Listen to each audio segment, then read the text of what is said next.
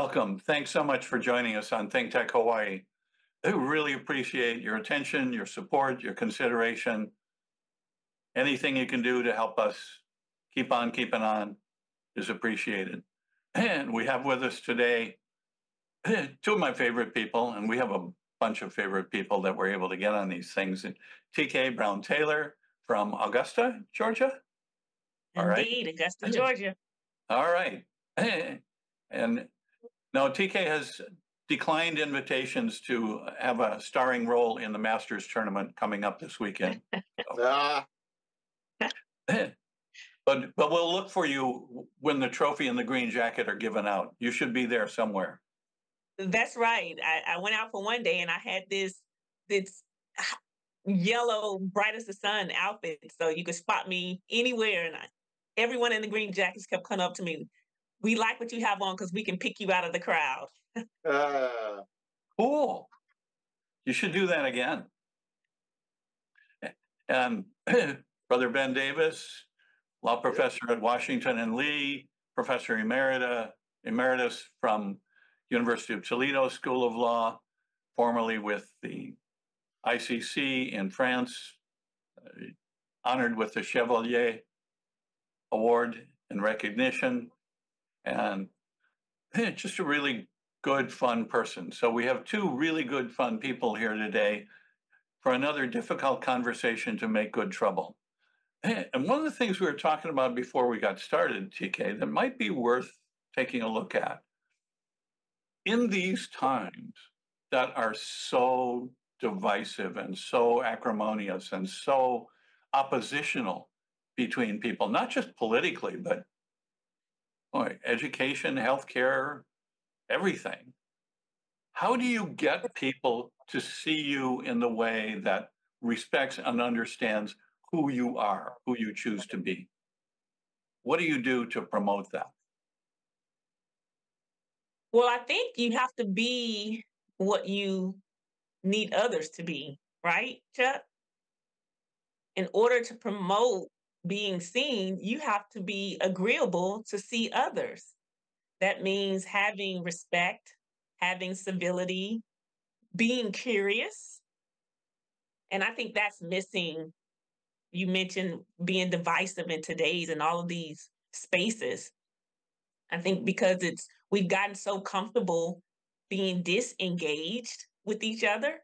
And some of that is, you know, just because of convenience and comfort and I want it right now. And all those all those things could probably be placed right at the toe of technology, these cell phones, and just creating this kind of comfortable space of not engaging with each other. And so I think in, in order to get what you need, I think you have to be what you need first. And to, to be seen, like to, to, to be curious about others and not be so, you know, just hard pressed and and selfish. But I think most of us are selfish and don't even realize how selfish we are. Hmm. What are some manifestations that show you that? Examples of uh, oh, that's a great question. And I could go far on the spectrum. One of those is is I, I want to lean into that being curious piece. Is being so kind of hard told with what we believe, what we feel, what we think, and not being willing to listen because naturally we want to get our point across. We want to share and give you our perspective, our opinion. And while doing that, oftentimes we're missing what Chuck and what Ben feels and think and what they bring to the table.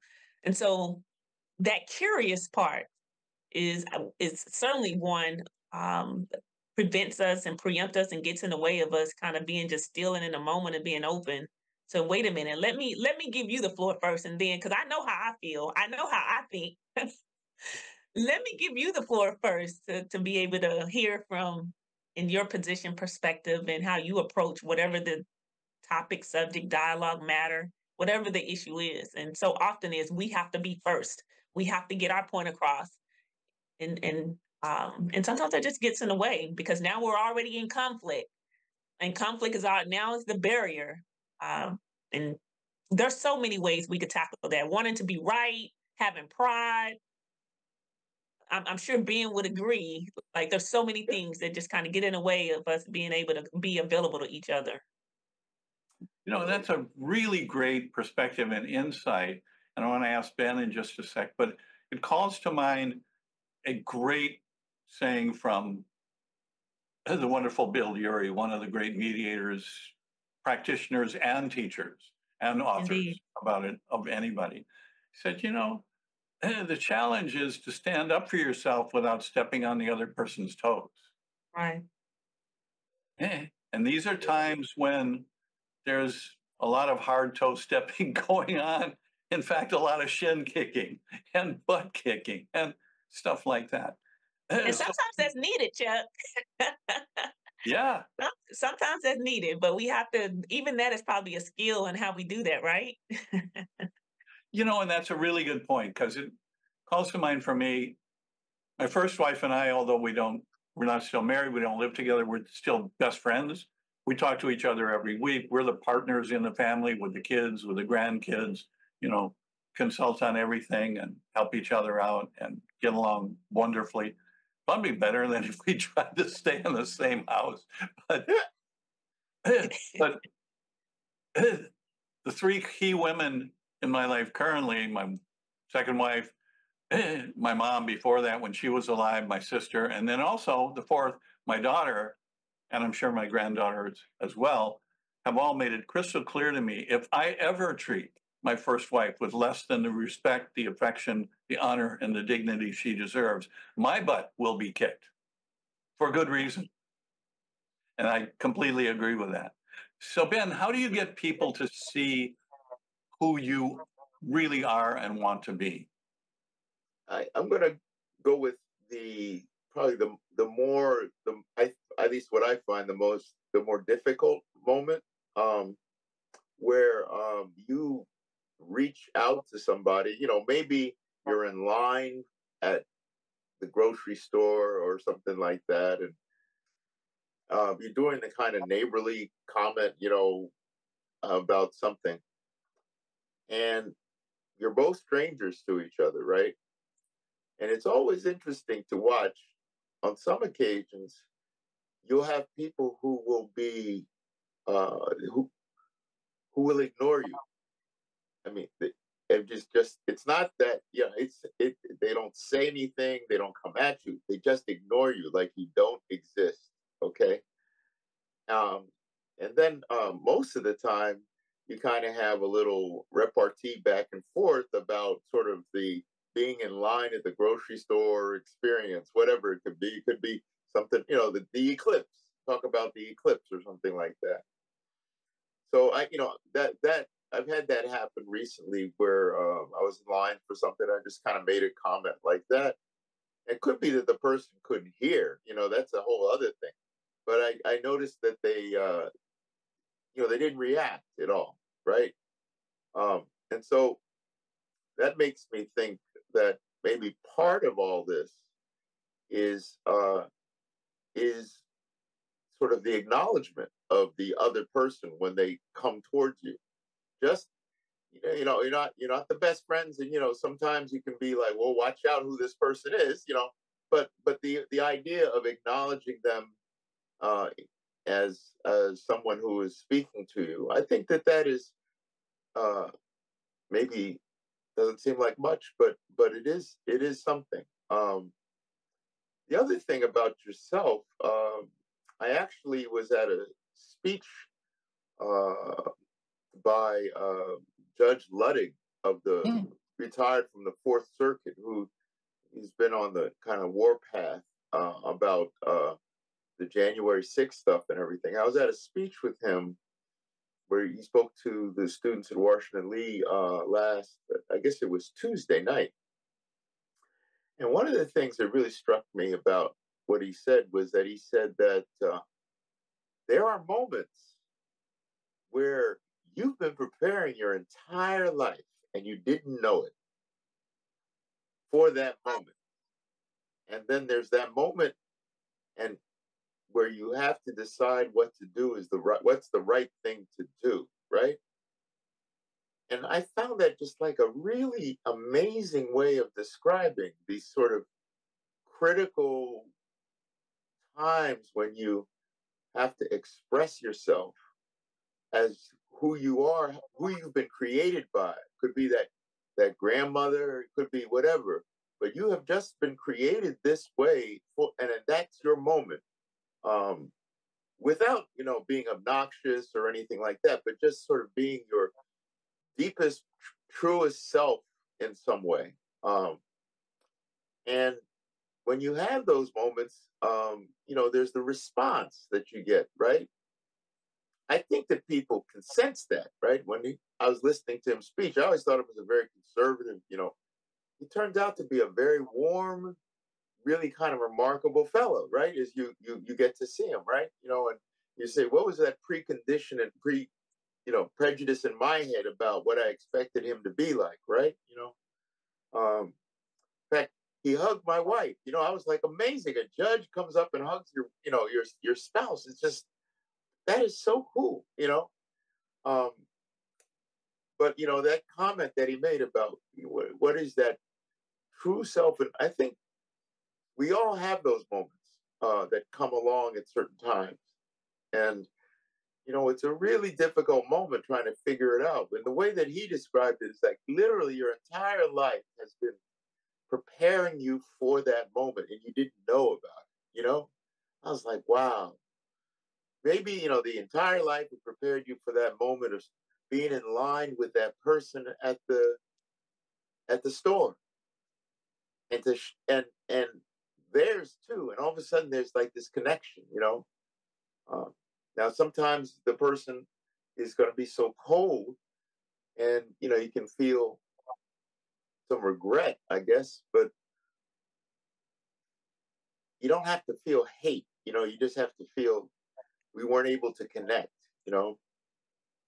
Um, the only other thing i was thinking of was um, one morning uh, when I lived in Paris, going off to work, and I saw this old lady walking with this little baby, you know, like walking your grandchild kind of thing, right? And my first reaction was to see a grandmother with her grandchild, right? But then I had this thing that flipped in my head where I saw a black child with a old white lady. And I looked at myself and said, what was the thing that made that flip in my head like that? From just seeing a literally grandmother with her grandchild and then seeing an old white lady and a black kid. Like, what were those two things going on in my head at the same time, you know? And, uh, you know, it, it makes me think of these, these, uh, moments we go through where we can look at it like the NCAA women's final to take one thing where people have looked at how the reaction has been to who won and who lost, right? Um, you know, the Caitlin Clark stuff, seen her as a baller, uh, but then, you know, the other team wins and uh, more is focused on her than on the other team that won with, you know, Dawn Staley and all.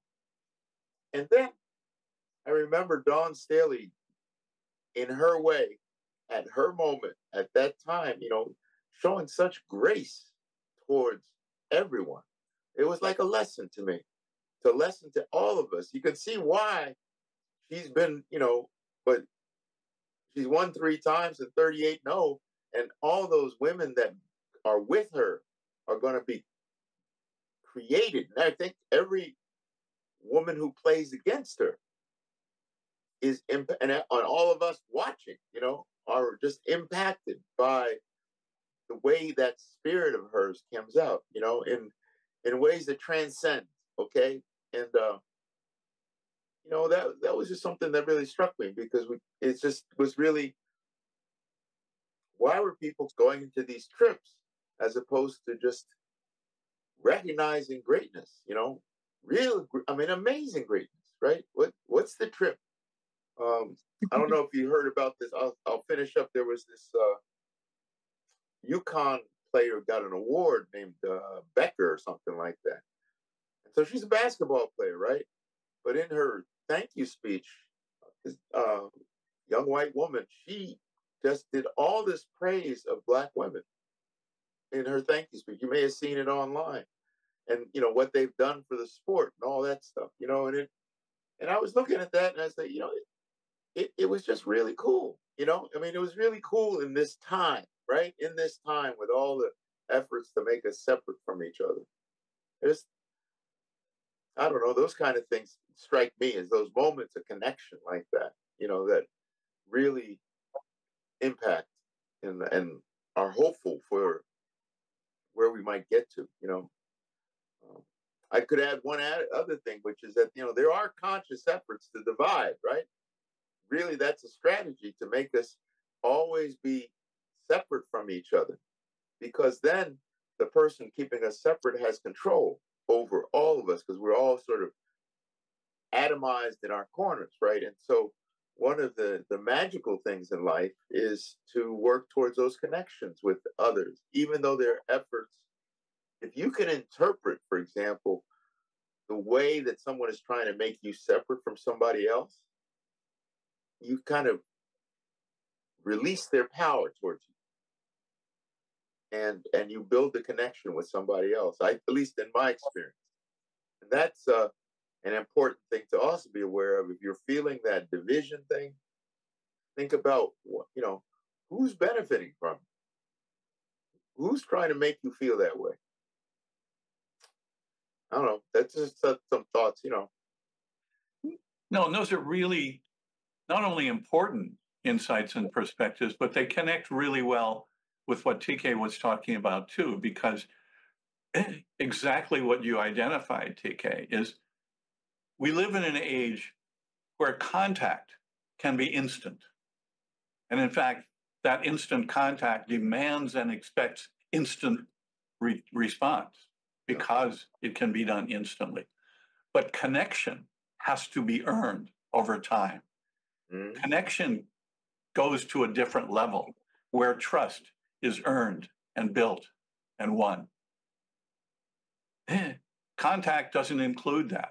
So it excludes, and you're right, we've had a period of years now during the pandemic when people were physically, geographically, and emotionally disconnected from each other and in many ways from ourselves.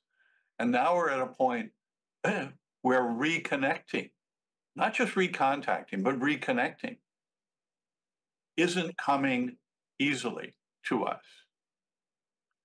And so, one of the things I've had the good fortune to experience in Mexico in February and March, in Vietnam, September and October, and again uh, in March, in a collective society, people see themselves and others as parts of units, families, extended families, neighborhoods, communities, school classes, whatever. But they're all parts of unit. They're all grains of sand in one beach. And what happens with the way that people see and treat each other in that kind of collective society is so different from a fragmented, individualized society where the connections have been removed and only the contacts remain. For them, the connections are always at the center. Mm. And the connections are the source of all the meaning and value. And it's intergenerational, it's interfamily, it's interpersonal. And just being able to get there and experience it is absolutely wonderful because to be with people whose meaning and value is in looking for, seeing, respecting, understanding, honoring, and serving the value in others. It changes your whole feeling about yourself, about life, about what's possible in human connection, not contact, but connection. And so if you think of instances where that's happened in your life, TeKay, for example. Well, I'm hearing you talk Chuck, and it's bringing together some of the thoughts I was experiencing as Ben was kind of sharing some of the stories in response to your question. And two of the words that come in in in what you were saying in his stories, you meaning connection, is kindness. I, I have a sign, although you can't see it behind me because it's blurred out, but it says you will never regret being kind. And being Mhm. talked about the grocery store, the smallest things, but how meaningful and how impactful they are. Just a smile, just smiling to someone could save someone's life, really. Because to your point, Chuck, they see meaning in themselves. They see value in themselves. And the, and the way that Ben was recounting those the story that he shared, my mind went to my own neighborhood. I happen to live into like one of the oldest subdivisions, um, but it happens to be the largest subdivision in the, the part of Augusta where I lived. And I often, like you, Ben, wonder when, because we always have walkers. I don't care what time of morning, day, night, before sun, moon high, you will see some, someone walking. And I always wonder those folks will you will look you dead in the face and will not budge and say a word Mm. and or will quickly look away. And so I even think about those things when we talk about connection and uh, into your your own wonderings, Ben, and what are those individuals thinking, or what would make us kind of have that response or that reaction? Um, and I think even to your um point, Chuck, in that it's connection and not just contact. It almost becomes like a norm for all these, as I shared before. Community is hard to build and develop and sustain, right? Mhm. Meaning you could have all these neighbors. I even think about my neighbors. I, you know, growing up as a child, we shared food. You know, we kept our doors open. Um, you could discipline the next door neighbor's child. All these different things. Um, and I can tell you, well, I just had a neighbor. My the neighbor across the street, husband's passed away, and he was only in his mid fifties, early fifties from cancer.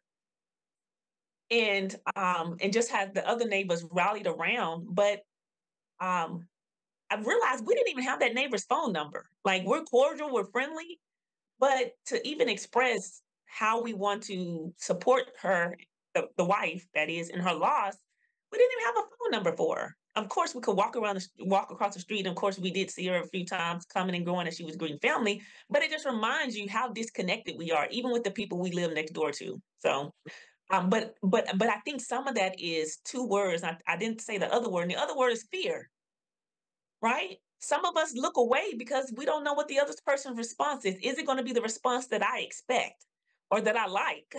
Mhm.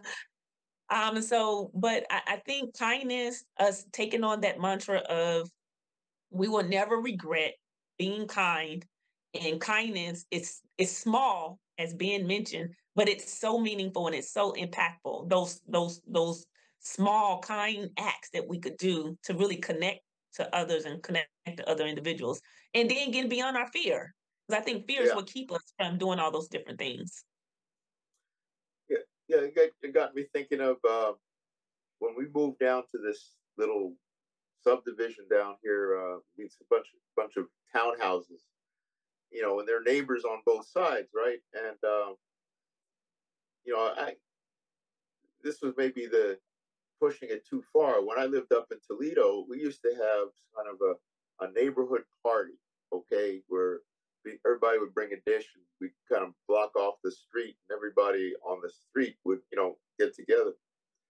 And I remember sort of, I don't know, after a year, year and a half here or so, I was like, okay, why don't we do that with all, because I knew, you know, I met everybody kind of around here and I was thinking, it'd be nice to have all these people get together, right? And started talking with people about it and you know, there's there's some Spanish folks over here, and they were that's the daughter was explaining in Spanish to the mother, and she's like, and then you know, that so that's the connected part of it, right?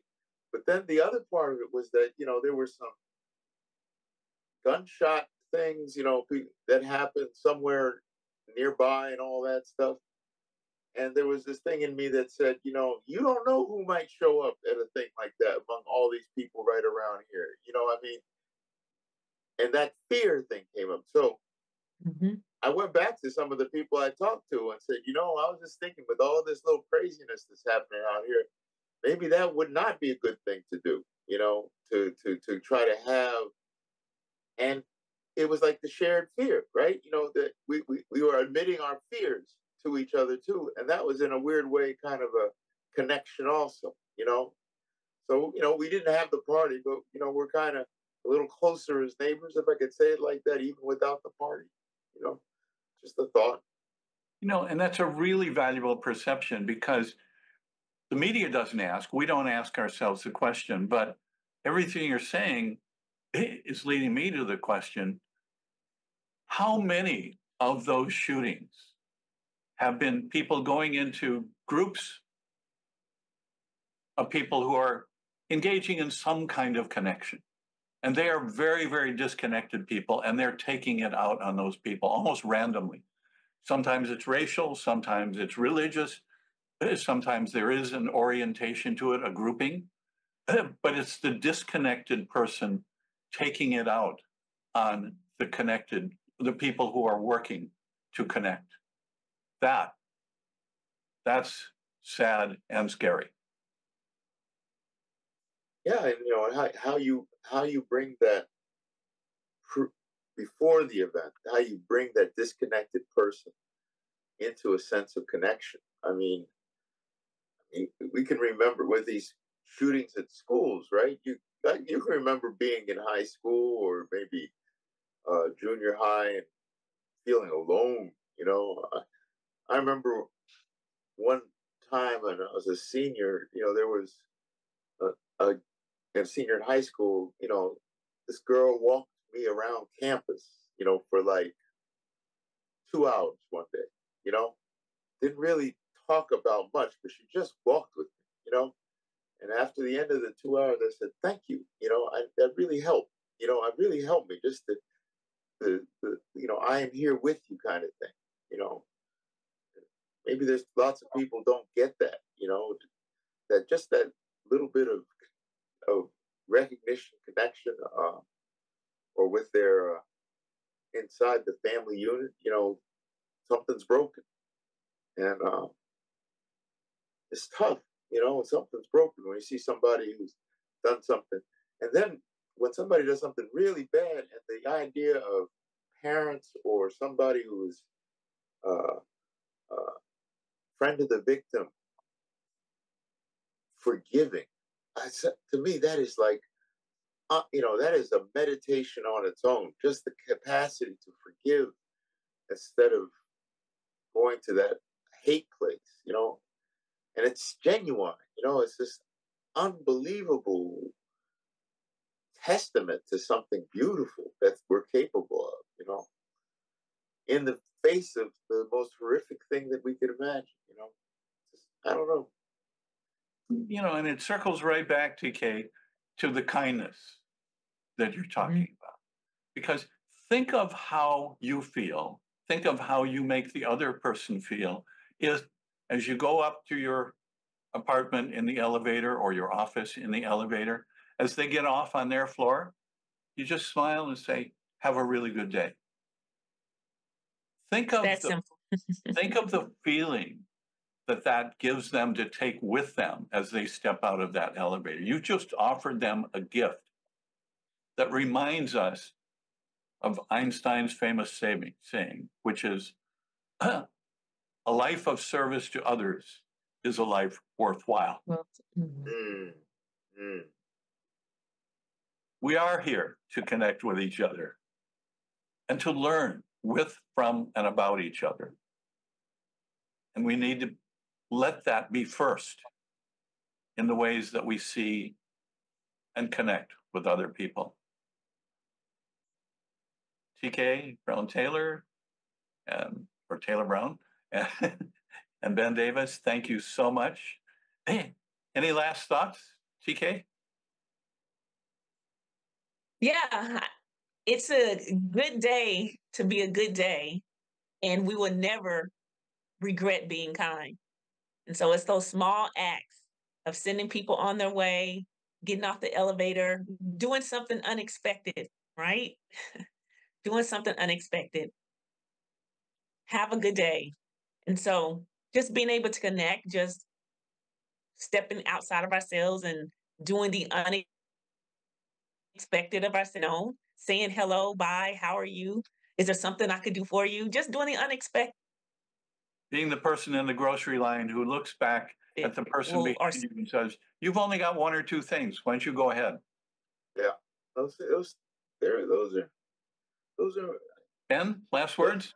I I just would say that, uh, you know, the the effort to try to reach out a little bit, if you're capable of it. You know, sometimes we we are under the load of life, right? Okay, but uh, but if you can reach out, I, I certainly, in a way, I was thinking about the role that churches used to play. You know, more of these places of gathering, and then afterward there was a meal after the service in, in the uh, in the church rectory kind of thing, and there would always be this kind of intergenerational moment, right? And then it might last an hour after the service, and then you know everybody would sort of make their way to where they were going, right? You know, um, I you know, I- Music. yeah, music. That's a that. great idea. We need more fellowship halls for You sure, know, Ben. We fellowship halls, you know, know, you know, If you put food and music together in a place and you simply offer people the chance to come, to be welcomed, to be included, to belong, this is our Think Tech conversation to invite you. Share in the food of thought, share in the music of understanding, and pay it forward. Thank you for joining us. Aloha. Have a good rest of the week and weekend.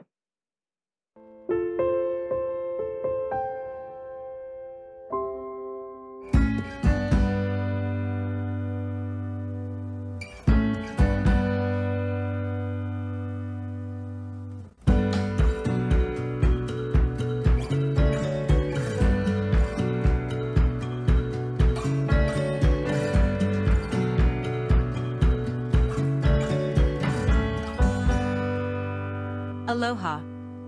We want to announce that ThinkTech Hawaii is moving into a new phase and will not be producing regular talk shows after April 30th. We will retain our website and YouTube channel and will accept new content on an ad hoc basis. We are also developing a legacy archive program to provide continuing public access to our content. If you can help us cover the costs of the transition and the development of our legacy archive program, please make a donation on thinktechhawaii.com. Thanks so much. Aloha.